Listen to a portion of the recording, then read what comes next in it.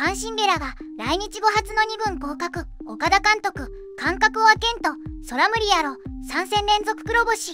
阪神ハビーゲラ投手28が来日後初めて2軍降格となることが決まった。チームは延長戦にもつれ込んだ試合で3戦連続で黒星。決勝打を浴びた守護神について岡田彰信監督66は試合後に明日からファームこのまま投げ取ってもな。ちょっと感覚を開けんと。空無理やろ。な。ベンチ置いといたらまたな。使うようになるからな。と明言した。岩崎と共にダブル守護神を務めていた助っ人のショッキングな姿だった。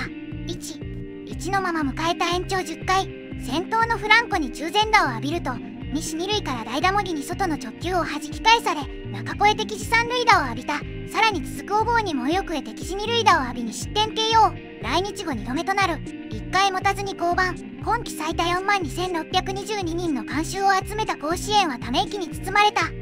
ゲラは2軍調整で多分新しい球種覚えたらいけるやろ。誰も打てん方が深刻やろ。ほんまや主人プライドないんか。ゲラはようやってくれてた。来日1年目から岡本から調子狂ってきてたのにかたくなに後ろで使い続けてたのが悪い桐敷石井はザキと駒が多いのにその多さに甘えすぎ。ゲラさん2軍でリフレッシュしてきてみんな復活待ってるからね。得点どころかろくにヒットも打てないんじゃ勝てるわけがない。ピッチャーがかわいそうや。外出るとかをあげないってやろ売ってる2軍や主人あげねえから投手陣が疲弊するんだよ。ゲラは中継ぎに配置転換しよう。今シーズン捨てた。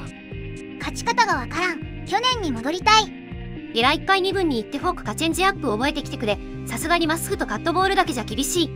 ゲラもうええってほんま打たへんのも悪いけど。金田の仲間心眼系統だもんな。空弱い。ほんと点が取れんね。え1点じゃそりゃ勝てんよ。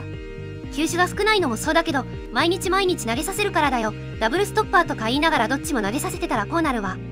ほんとに1点出せんだな。ダブルストッパー解体やね。打てへんから投手披露しまくって悪循環なるんやろ単純に負けるにしても試合がおもんない。初戦また負け完封しないと勝てなくなってる。止まってるのは打線です。小鳥の開幕からです。ゲラさんも疲労かな。一度リフレッシュ含めて2軍調整しても良いかもしれないですね。先発が完封するしか勝てねえってひどすぎるだろ。何やってんのよ。ゲラももう疲れや。たまには休ませたれや。打線が機能さえすれば休めるかもしれんのに1番の武器のスライダーが全くコントロールできてないとなるとストレートにしか頼る球がないとなればこうなりますよね。ご視聴ありがとうございました。チャンネル登録よろしくお願いします。